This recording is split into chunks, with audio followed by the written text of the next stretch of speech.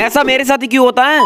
जैसा कि तुम्हें पता है मैं गया था जू देखने के लिए। जहाँ पर बहुत सारे जानवरों को देखते देखते मैं आ गया था बटरफ्लाई गार्डन जिसके अंदर एंटर होते ही मुझे दिखाई ये बोर्ड जिसको देखने के बाद मैं चला गया बटरफ्लाई देखने। तो आगे चलने के बाद बटरफ्लाई तो नहीं लेकिन ये झरना हमें ज़रूर दिख गया। तो नियमों का उल्लंघन करते हुए हम लोग अपनी मर्ज़ी से यहाँ पर चलने लगे। और हाँ गाइस इस जगह पर भी आशिकों की कमी नहीं है लेकिन हमें क्या? तो खैर उसके बाद पता नहीं ये प्रीत किस चीज़ को खींच रहा है। वैसे यहाँ पर घूमते घूमते डेढ़ घंटा हो चुका था और हमें बटरफ्लाई नहीं दिख रही थी। तो अंकल ने हमें यहाँ पर आने वाले बटरफ्लाई के वीडियो दिखाए ताकि हमें ऐसा न लगे की यहाँ पर कोई स्कैम चल रहा है। और हाँ इसके बाद मैं जा रहा हूँ एक बहुत ही बड़ा जानवर देखने के लिए। तब तक के लिए जय श्री राम।